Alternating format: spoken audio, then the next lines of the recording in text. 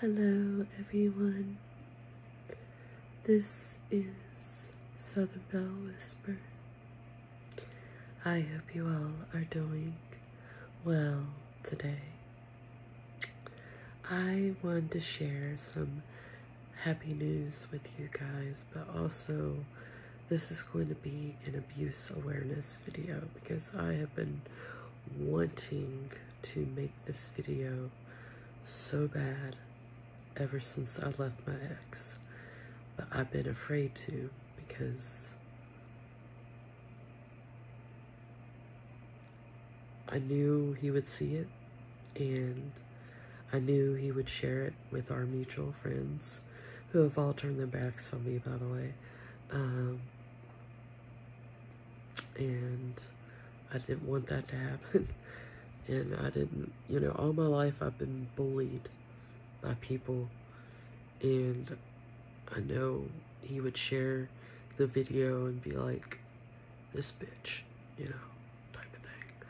Because he's, he's, he's, um, last time we separated, he laundered my whole personal life on Facebook. Everything that I told him in, conf in confidence was laundered all over Facebook. Things that I told him when we got together about my mom's personal life, my personal life, and some lies in there. And I didn't want that to happen again, but you know what? I don't give a shit anymore. Because if I want to be an advocate for abuse awareness, I gotta get my, pull my big girl panties up and just do it. So, the happy news first, and then we're going to talk a little bit. So, 27 years ago, when I was seven to when I was I guess around 13. When my dad was alcoholic, uh, and usually when he was being in a butthole, I'm trying to cuss when he was being a butthole, would be usually during the nighttime. And my mom would take me and we would, you know, go sit somewhere and we would listen to Q99 which is the radio station here in Virginia.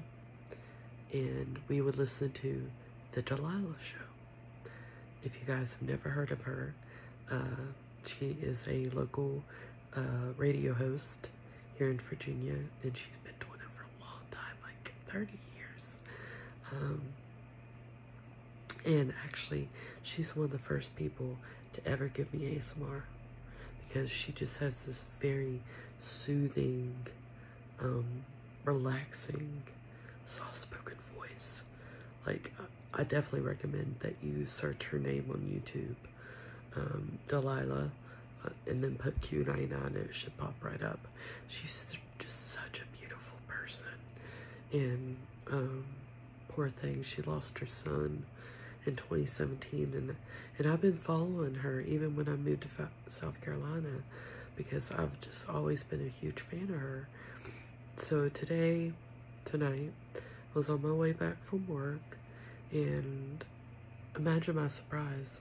A few nights ago, I actually found out that she was still on the air. I had no idea she was still on the air. Um, but tonight, I was just on my way back from work and I was listening to her and listening to all the stories and the love stories and the love songs, but also redemption songs and, you know, dedications and things like that. So I'm sitting in my driveway and something tells me, you know, would you just try? You know, you're probably, know, there's 55,000 people trying to call her right now, but give it, give it a shot. So I called the first time and I got that automated uh, voice messaging system that says this line is busy. By the way, I don't know what I did to my nose. I'm a mess, you guys. I'm a mess. I have no idea. I don't know. I don't know. Anyways, So the first time I got the automated voice message system that says, this line is busy, please call back. Or please try your call again. I did that 50 times. And, and I was like, okay, maybe I should just give up and I'll try again tomorrow night. But something told me, try one more time. That time I was put on hold. And I was, I was like, okay, what's going on right now? And then I hear her say, this is Delilah, who am I talking to? It took me a second.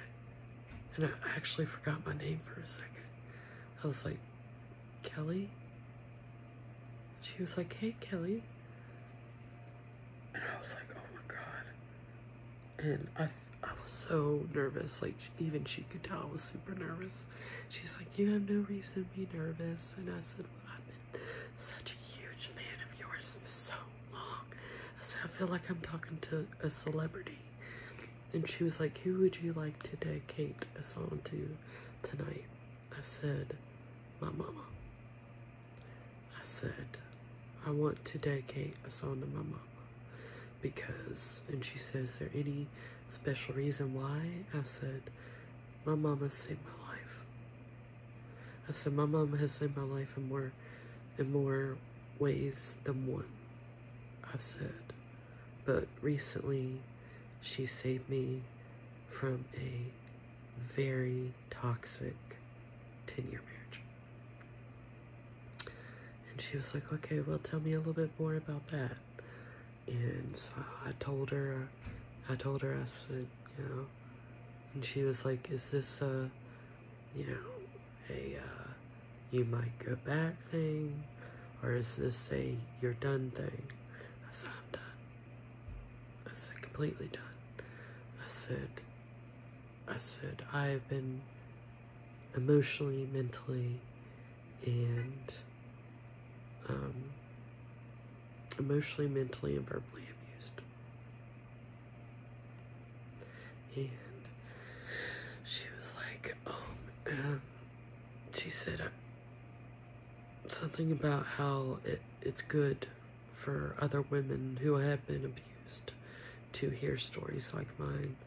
Um, I actually stayed up till 12 o'clock tonight because I wanted to hear it, but uh, she did mention that she would probably play it on Friday instead because it's girls' night, and she said, what better way to, to spread abuse awareness than on girls' night? So, for the next two nights, I'm going to probably be listening to her talk show uh, just to see.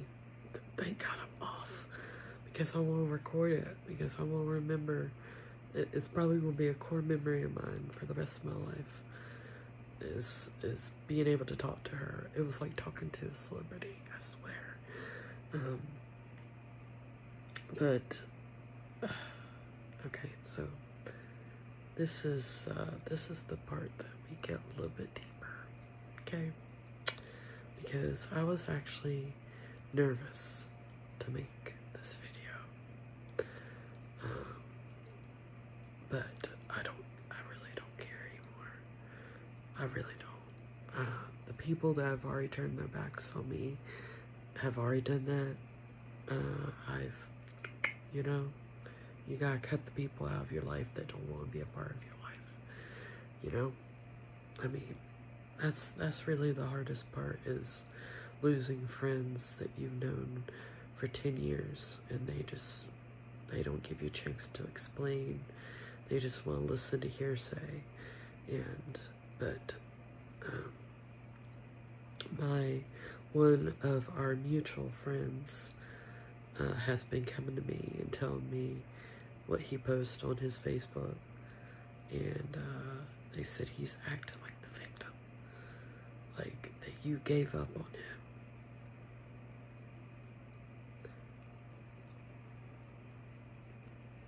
No, I did not. I did not give up on him. He gave he gave up on me. Actually, you know what? He didn't give up on me because he never really loved me. Sorry. He obviously does not know what love is. He is a hypocrite. And he will go to his grave saying that he has never abused me. He's like, I got the proof that she abused me. That's what he would say. And he does. He does have proof. He has videos. He would record me after he pushed my buttons, after he would call me in a the C word, the B word, C word. He would do all that pushing my buttons, pushing my buttons, pushing my buttons until I would get so enraged. Like, okay, you guys, I've been dealing with some inner anger issues for a long time, and that stems from being bullied, that stems from having a broken family. Um, my brother, God rest his soul, God rest his soul, had anger issues. Um, I mean, we we all just have some underlining anger issues, and but I don't really get that. I don't get angry unless somebody does something to make me angry or pushes my buttons. But he would literally um, record me when I would get enraged at him. And so he has that proof, but let me show you guys something right quick. Remember when I told you guys about that night on the did I tell you guys about that night on the beach where he uh talked me into taking three tabs of acid and downing a whole bottle of liquor, half a bottle of liquor, sorry. Yeah, yeah. Uh, I found something, or my niece Selena found something the other day. I'll show it to you guys. And you ask yourself, who's the abused one in this situation? Okay, so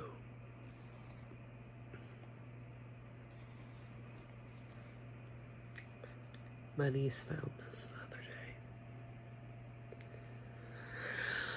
We were in the news. I told you guys, I think I did. I can't remember. It says, uh, breaking an unusual situation in Garden City this morning, Garden City, South Carolina. About 4 a.m., Murrells Inlet Garden City Fire Rescue was dispatched to the 2000 block of Waccamaw Drive after a woman reported her husband may have drowned in the ocean. The woman, who allegedly admitted she had taken acid, said she and her husband had been in the ocean and she lost sight of him. The couple's vehicle was found unoccupied and a search of the beach began. Around 4.40 a.m., the man was found. He was reportedly naked and was standing in the water in the vicinity of Dolphin Street. EMS was called to check out. Both the man and his wife were transported to the hospital for evaluation. That was me. And Selena, you didn't trick me, honey. This is obviously uh, something that I've been dealing with for a while. I've been dealing with PTSD and insomnia from that night alone.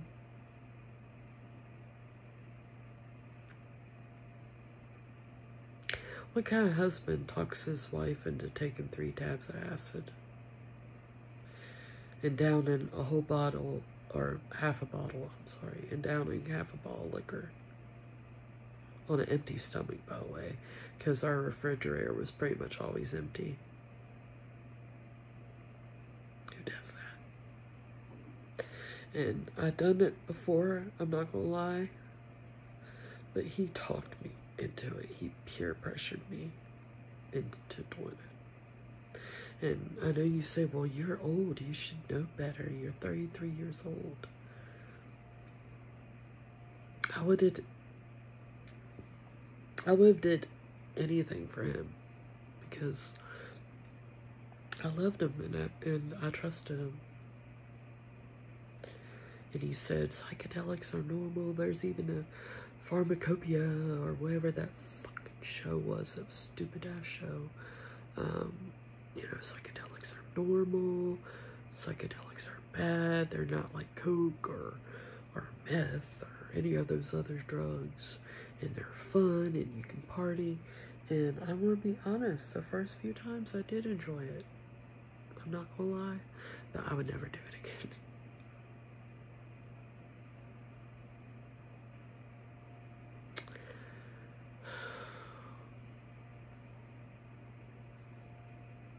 Guys. I just, a part of me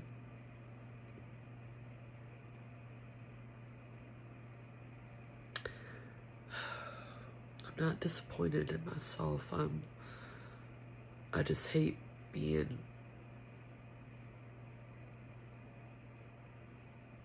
being made out to be the bad guy.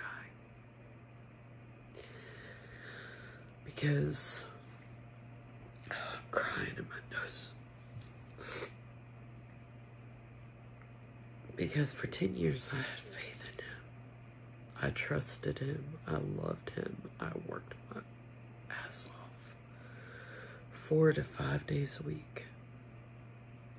12 hour shifts, night shift. $3,000 a month.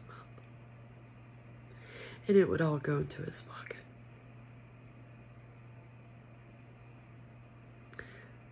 You tell me who the biggest.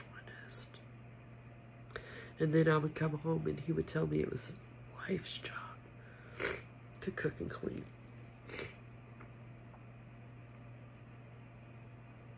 So me exhausted, I had to like lift and push and pull people that were up to 400 pounds. Tell me who the abuse one is. And then I would come home and don't even get me started on that trailer. The House of Horrors, you mean? It was filthy. And it made me so depressed. Because I wanted a clean house. I, I wanted to have a house I could be proud of. And he wouldn't help at all.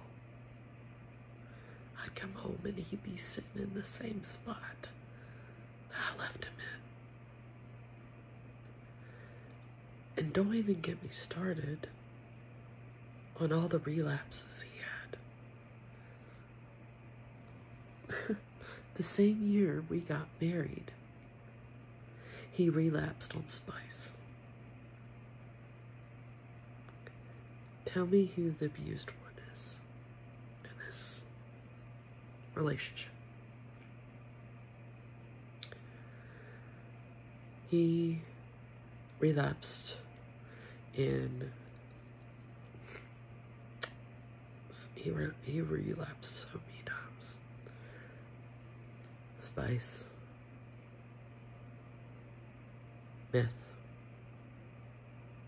coke, pills.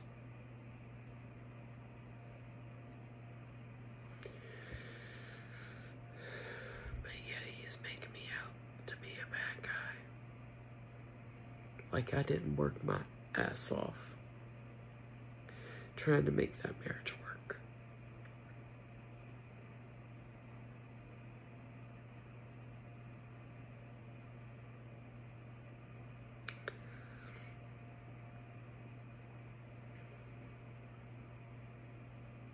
I didn't just lose him, which that isn't the bad part. I don't mind losing him. I lost my cat that I loved immensely.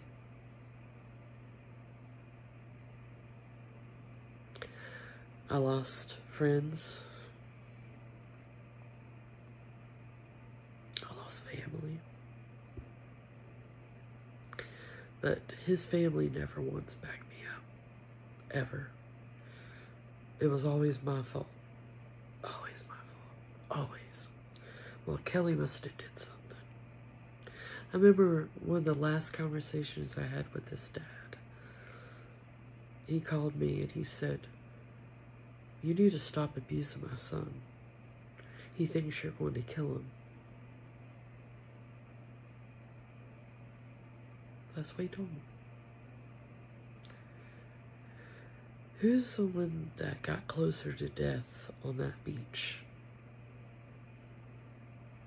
Me.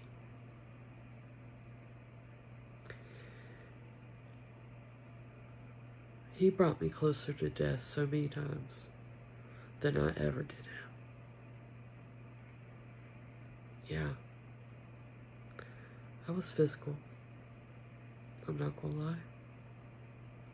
I'm not perfect.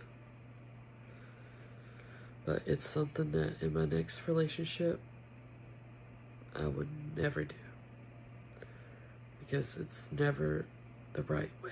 It's, it's never, that's not the answer. It's not. And I know it. But he would just, he knew exactly how to push my buttons and make me enraged. I didn't like being called names.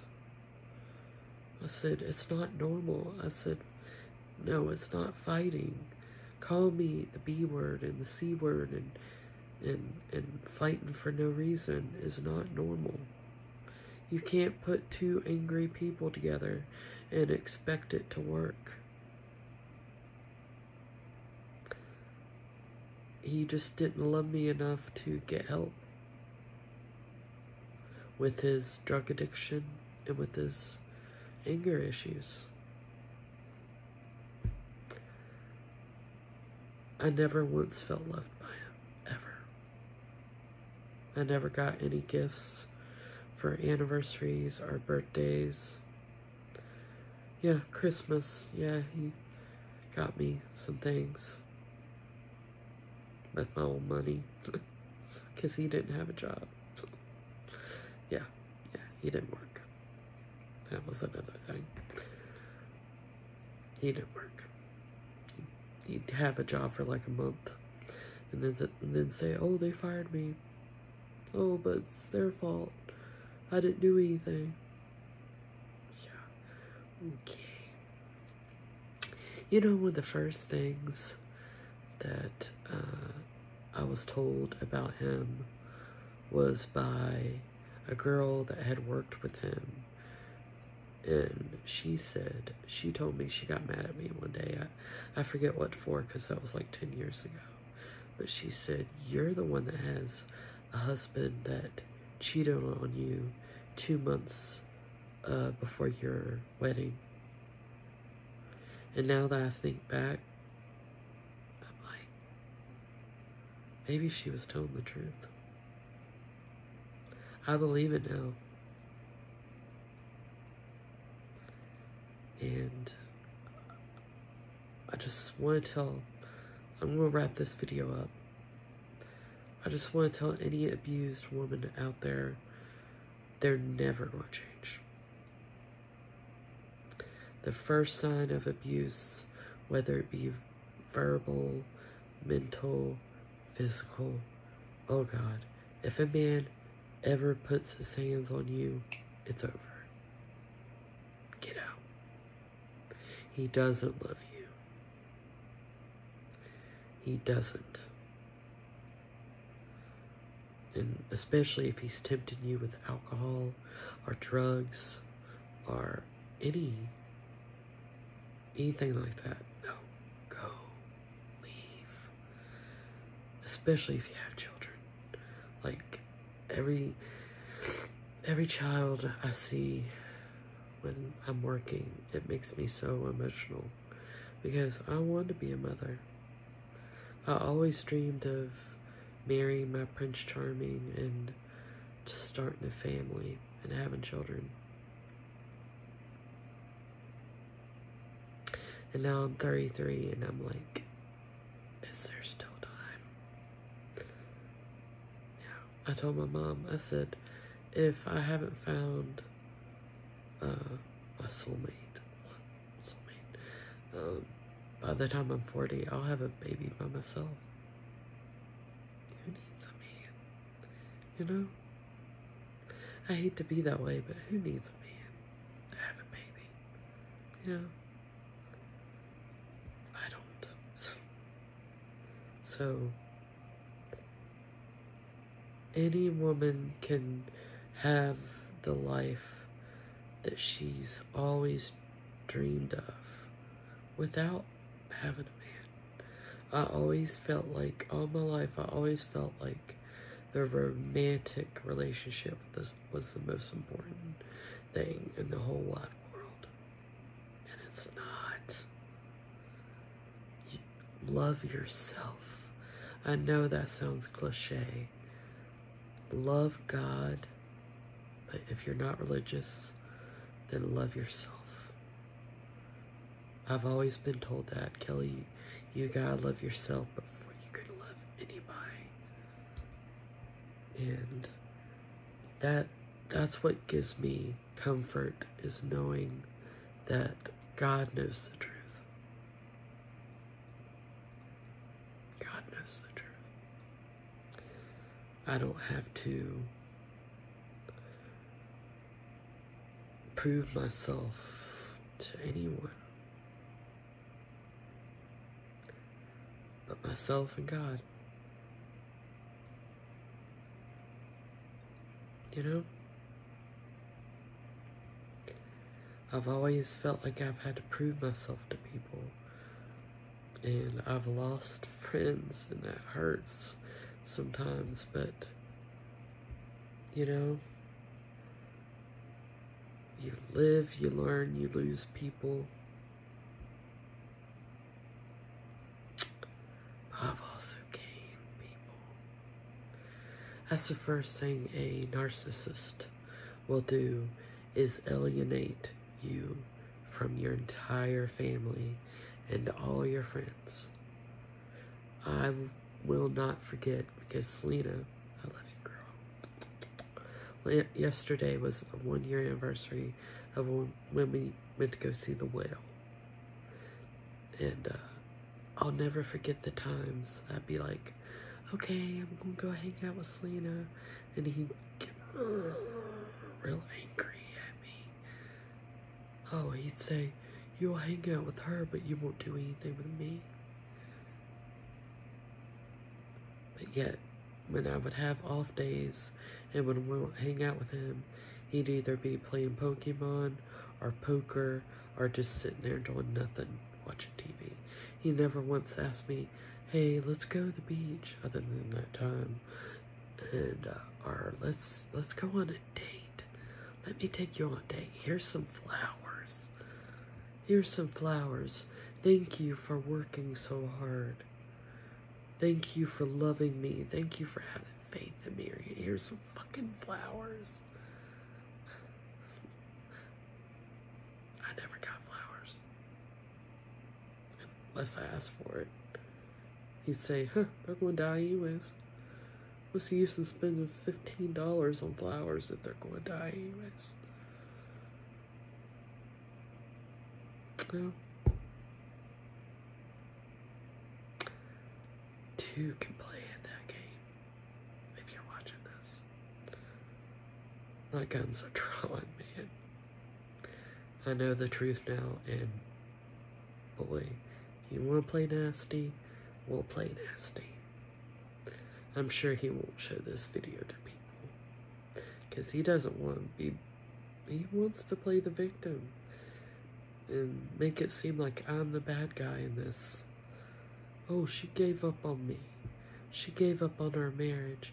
God hates her because it says not uh, to succumb to your husband.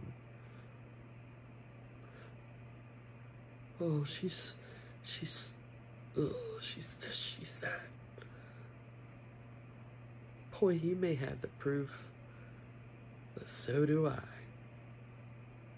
And, uh, they also asked me for proof to get the restraining order. So, thank you, Selena, for sending me this. Because now I have a proof. So, anyways, I'm sorry. this this is what I need for my divorce. Yeah, I've already seen a lawyer. And he was like, yeah, I can get you a fast divorce, but I need proof.